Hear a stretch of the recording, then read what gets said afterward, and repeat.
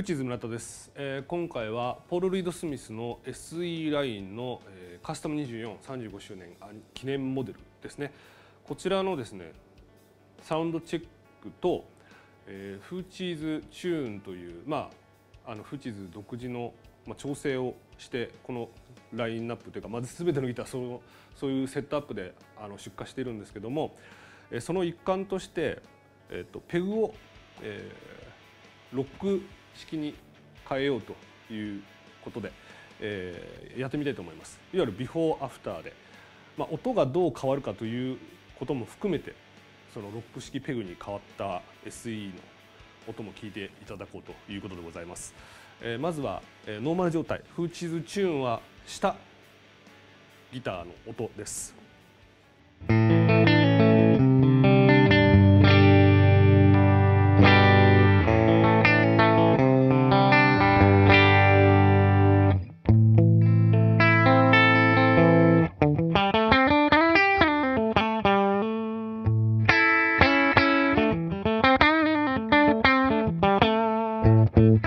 噔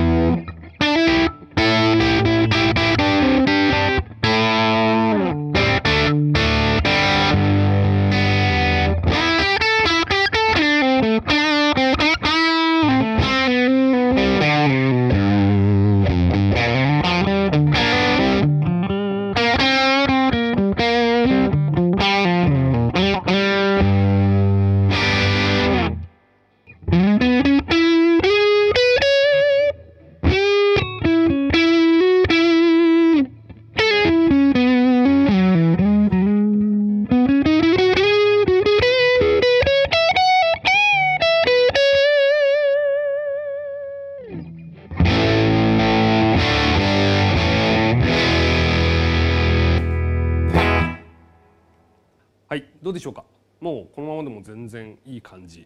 です、えー、元々のギターのポテンシャルというかですね、まあ、持ってる音クオリティ。で、えー、これ坂本あのサイドパーク店坂本氏が、えー、チューンしてくれましたけどもあの綺麗になるようになってます、えー、生音でも全然バランス違ってくると思いますけども、まあ、これをペグをロック式に変えるとまた一味違うんじゃないのかということで、まあ、実際一回やったことあるんですけども。ちょっと、えー、ビフォーアフターで音を聞いていただければと思います。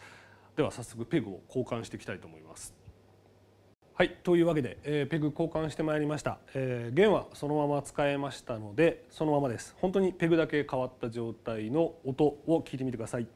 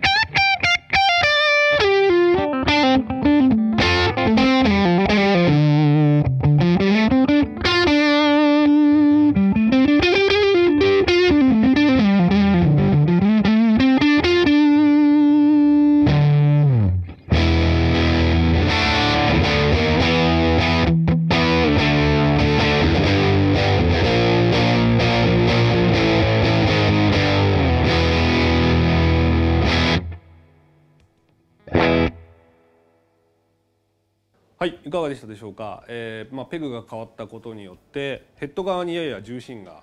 入った感じ。ちょっとこう落ち着いた音になったんじゃないかなと思います。あと、えーまあ、ロック式のペグなんでテンション感もちょっと変わります、えーまあ、踏まえてオリジナル状態とこっちのペグを変えた状態とどちらがいいかとかではなくてですねまあ簡単にあの弦が交換できますよということと、まあ、チューニングも安定しますよということ。で音も少し変わりますよということですね。まあ、あのフーチーズチューンというかこのポール・リード・スミスの、えー、SE35 周年モデル、えー、もともとポテンシャルがあるギターなので、えーまあ、ちゃんと手を加えて、まあ、ちょっとこういったバージョンアップもいかがでしょうかというご提案になります。えー、もともとこのギターを当店でお買い上げいただいたお客様の、まあ、ご要望というかあの発想で、えー、ちょっとペグ変えてみたいんだけどということでやってみたらですねあの非常にいい感じだったので、えー、レギュラーモデルとして、